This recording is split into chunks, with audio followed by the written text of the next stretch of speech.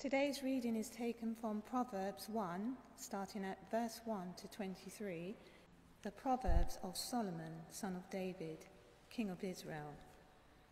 For gaining wisdom and instruction, for understanding words of insight, for receiving instructions in prudent behavior, doing what is right and just and fair, for giving prudence to those who are simple knowledge and discretion to the young.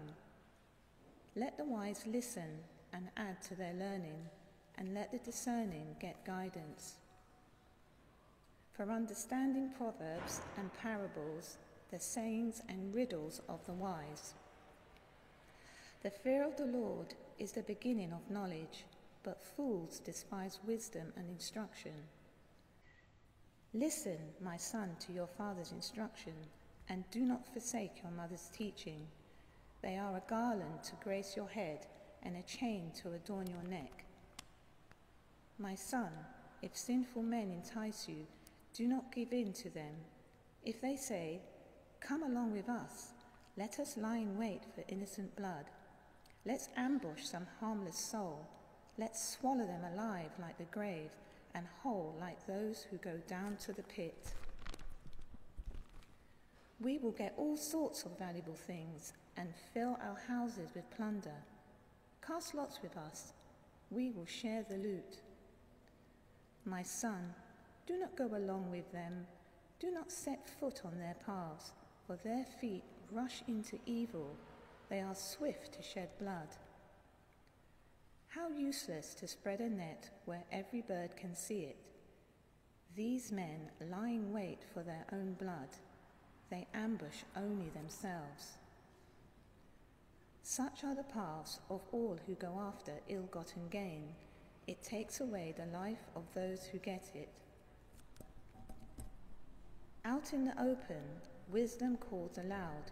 She raises her voice in the public square. On the top of the wall, she cries out. At the city gate, she makes her speech. How long will you who are simple love your simple ways? How long will mockers delight in mockery and fools hate knowledge? Repent at my rebuke, then I will pour out my thoughts to you. I will make known to you my teachings. This is the word of the Lord. 150 years ago, life was less complicated. I mean, I wasn't, yeah, none of us were around to actually experience it, but we know that, don't we? Uh, uh, men, men would get a job, probably the job that their father did, whether that was down the mines or working in the fields, and there probably wasn't much choice. Women worked at home and tried to get married. Again, there probably wasn't much choice. Not a big pond to fish from.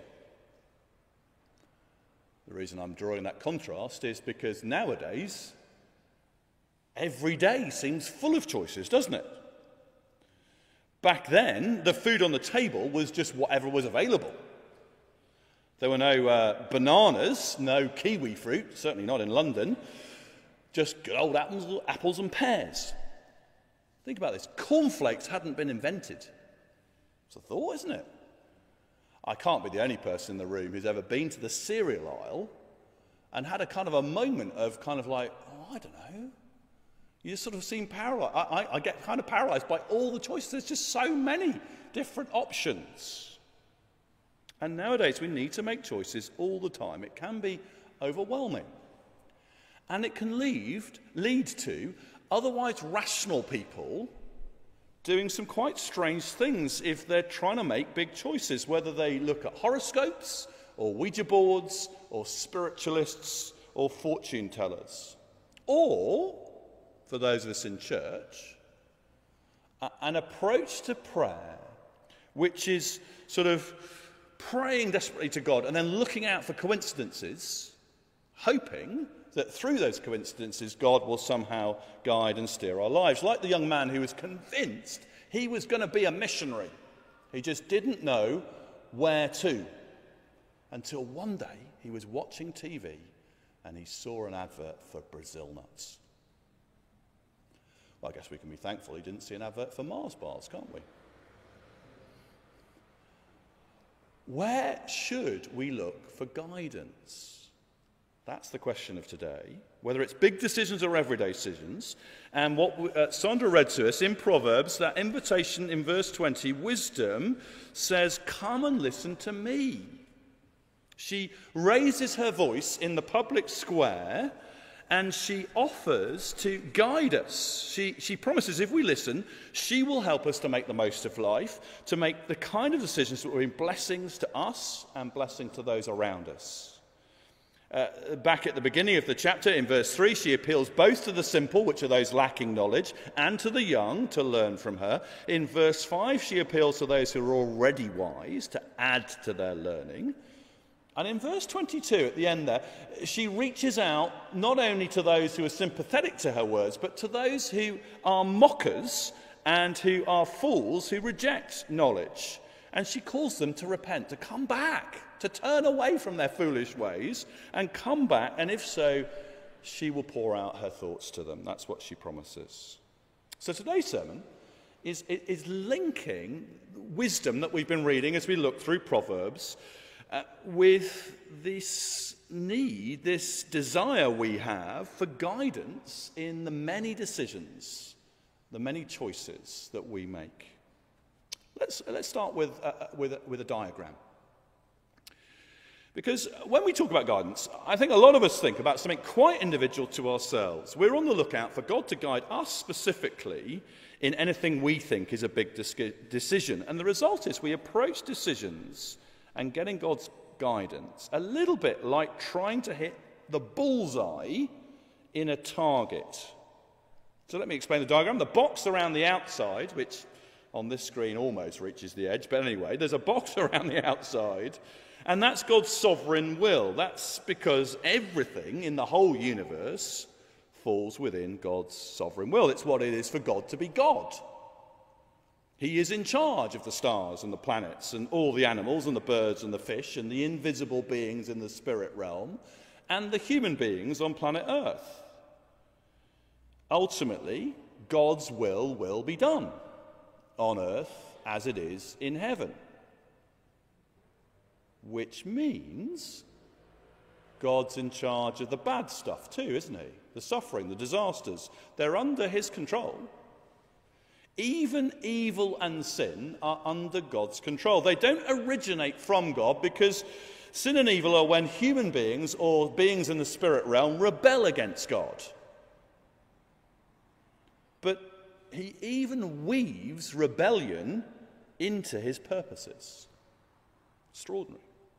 And when it comes to human beings, God has told us what's right and wrong, what's good and evil, and that's the circle on the diagram. It's what's taught right through the Bible. It's summarized in places like the Ten Commandments. It's God's moral will, we might call it. And his call to you and me simply is to live within that circle, to live within his will. Which, of course, is a good life. It's a, it's a life that reflects his character, his good purposes. When we don't do that, when we're disobedient and we step outside of his will, we miss the target, he's still in control. We're still within the overall box of his sovereign will. Somehow he allows it without willing it. And he calls us to repent and come back, to come back again into that good place within the circle. The bullseye uh, view of God, say, wants to be more specific. It, it imagines that right at the center of God's moral will is a personal plan for you and for me and for everyone that we first of all have to discover somehow and then have to follow. Particularly when it comes to the biggest decisions of life, like who to marry, where to live, what course or what job to do. Two problems with that idea that there's a bullseye we have to hit.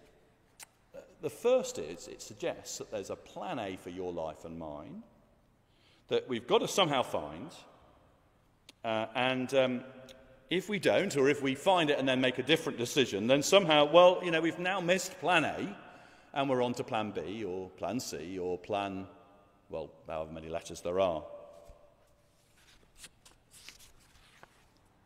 What happens if, seven years into a marriage, you get the fabled itch the seven year itch, what happens then? Does it mean that, you know, well, it doesn't feel the same anymore? Does Does it mean you've married the wrong person because you didn't hit the bullseye and you need to look again? What happens if you don't get your grades and you can't do the course that you were convinced that God wanted you to do and everyone else thinks you can do? What, what, what then? Do you resit?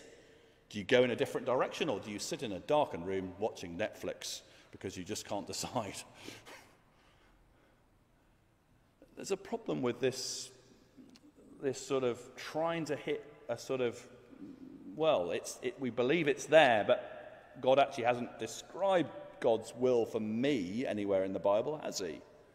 And that's the big problem with this view, is I can't find this teaching in the Bible. For, for example, the idea that there is the one, romantically, that we should all be on the lookout for, for you and for me. Now, uh, if you're married, then you know who the one is. It's the person you're married to. That's God's will for married couples, isn't it?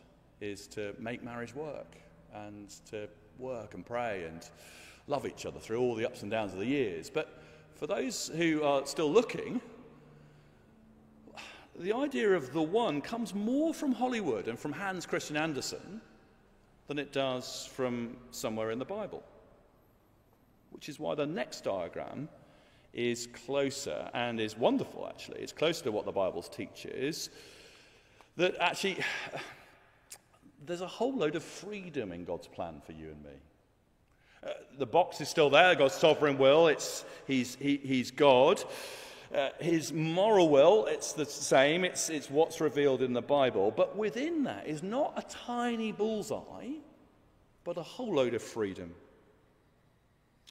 Freedom always has a boundary. Uh, God is the one who makes the rules, not you and me. We're not the one who decides what's right and wrong. That's the essence of sin, just like in the Garden of Eden, though. Uh, just like in the garden, the first human beings, they were given freedom to eat from the trees around them, eat the fruit of any tree you like, said God, apart from one. I'm just going to give you one boundary, one taboo. Don't eat the fruit of the tree of the knowledge of good and evil. But otherwise, go and explore, go and discover.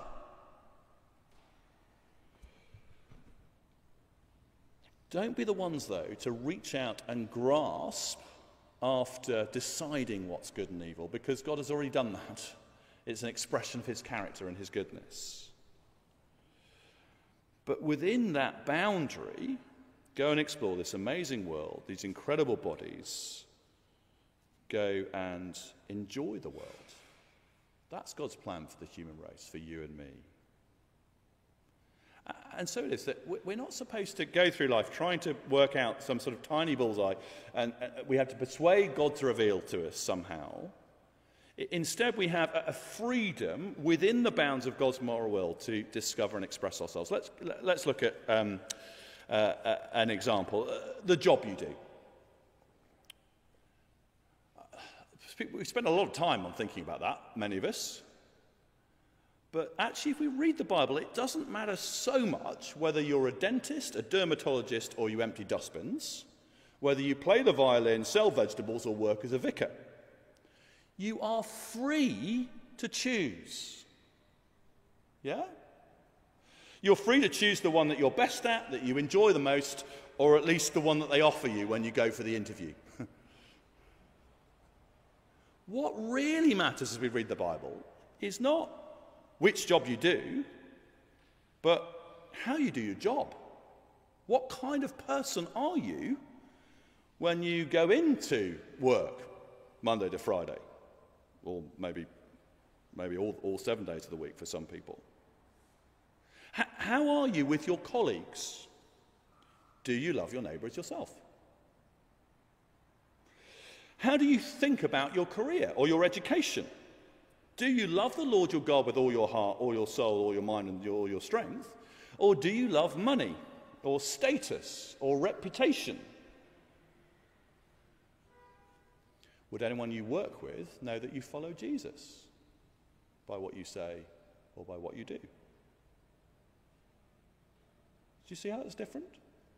We're not trying to sort of, oh, I've got to work out the No, uh, we're trying to say, well, no, God said a whole load of things about how to live well in the world.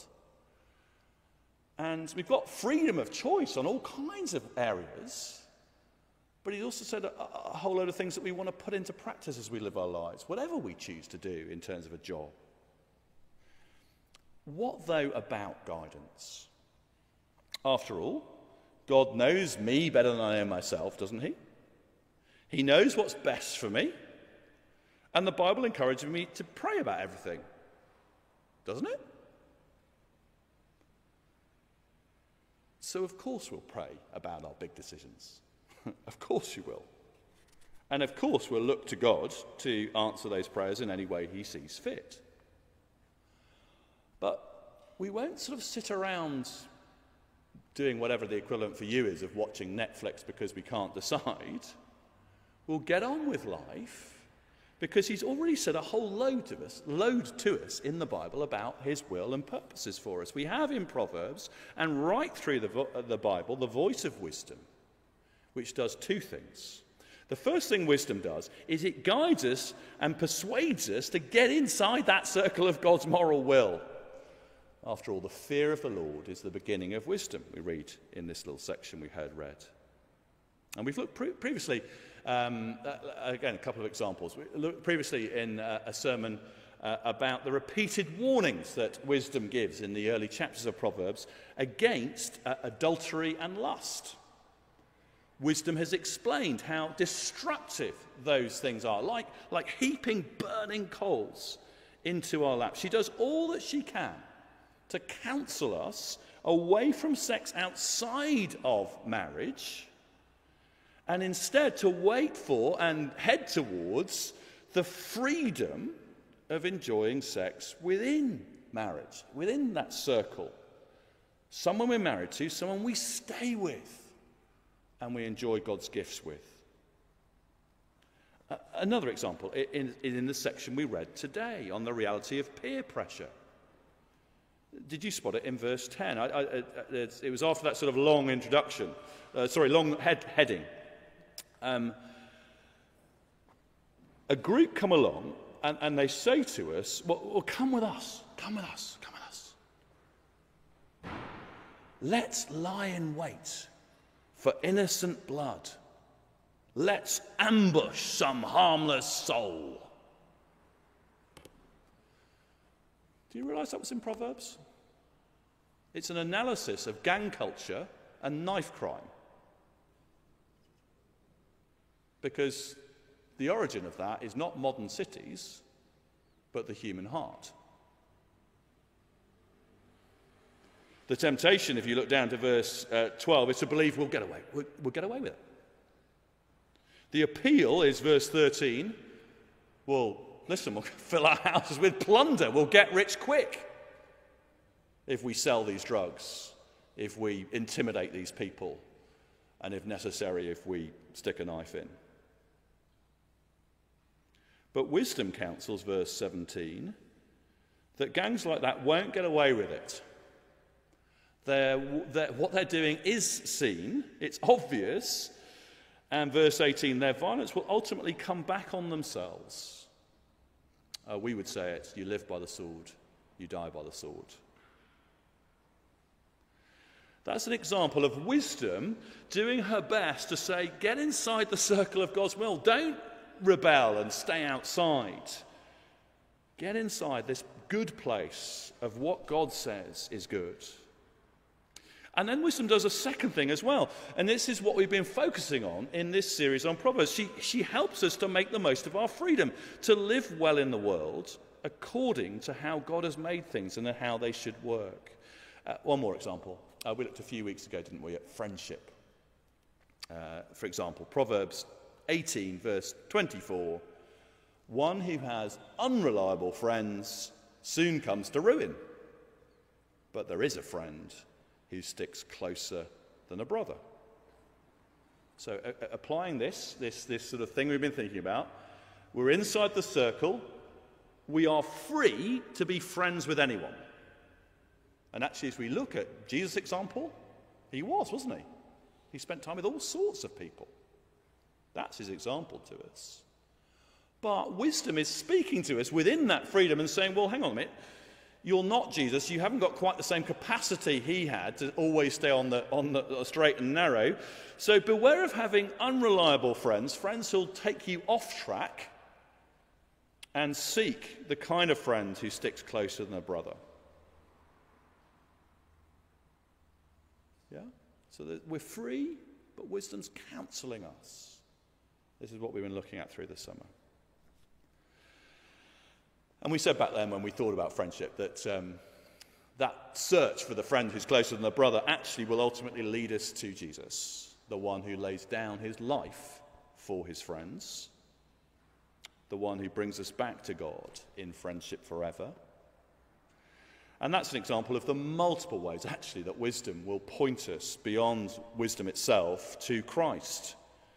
Because uh, what wisdom offers, her principles and her, her, her help for human beings, is actually it's pointing forward to the one who is wisdom personified, Jesus himself. It's fulfilled by Jesus and in Jesus. And another example is her, her invitation uh, here in um, verse 20, uh, 20, 20, verse 20 uh, to come to wisdom, to come to her, and to receive life. And in verse 23, to repent of going after our own ideas. And if we flash forward in our minds to Jesus and his teaching, he repeatedly invited, didn't he? He said, Come to me, all you who are weary and heavy laden, and I will give you rest.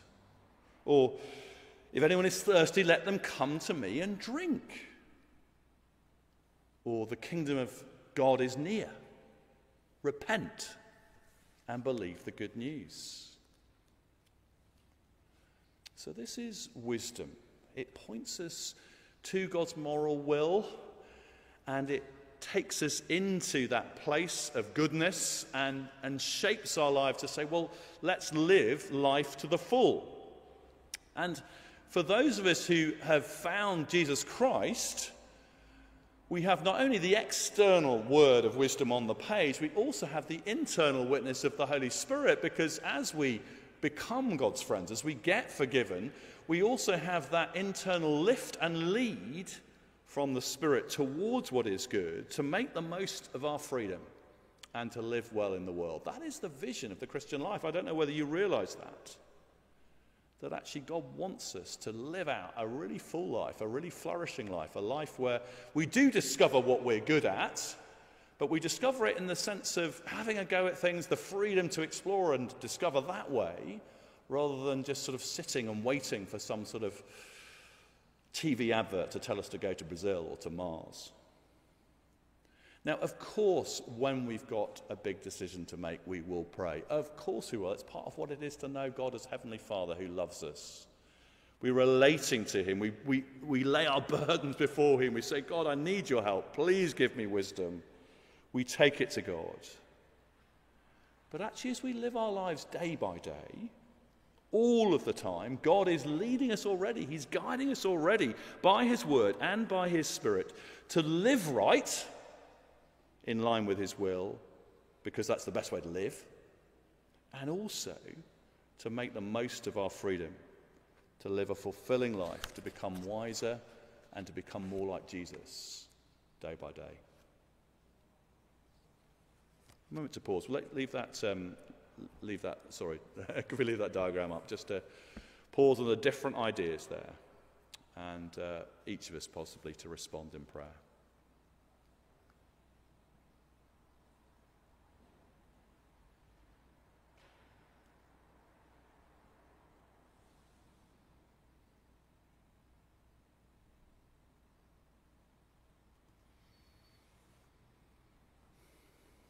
Father, this has been a, a time to think about ideas and how they fit together.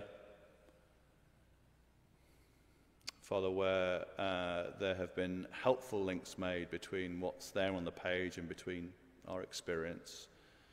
Uh, we pray that you would continue to speak your word into our lives, continue to shape us by your wisdom, to be men and women, to be boys and girls who live according to your word and your will, and who make the most of our freedom, make the most of our lives to become people who are Christ like and who glorify Him in all of our ways.